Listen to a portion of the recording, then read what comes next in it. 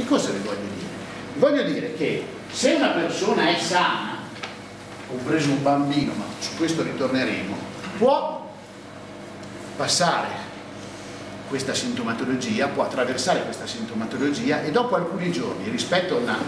diciamo, influenza stagionale che abbiamo avuto negli ultimi dieci anni, invece di impiegare 3-4 giorni può impiegare una settimana, addirittura 10 giorni a stare meglio il soggetto, però alcune di queste persone, nell'1%, dovranno ricorrere non al pronto soccorso, ma all'ospedalizzazione, cioè arriveranno in pronto soccorso, noi faremo una diagnosi di insufficienza respiratoria grave queste persone dovranno essere ricoverate. Cioè pazienti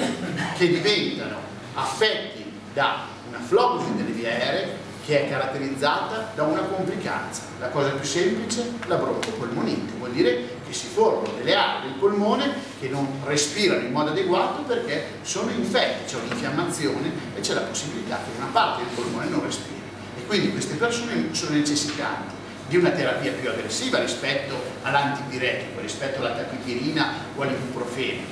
ma nello stesso tempo possono essere curate la terapia antibiotica, perché esiste la ventilazione artificiale, la ventilazione che può essere invasiva, come nel caso della signora di Alvaredo che abbiamo trasferito in animazione, non invasiva perché a Borgotaro siamo comunque riusciti a organizzare nell'ultimo anno una terapia non invasiva, cioè una terapia ventilatoria con ossigeno spinto in determinate condizioni, in determinate quantità, quindi con dei flussi che possono mantenere la pervietà delle vie aeree e garantire una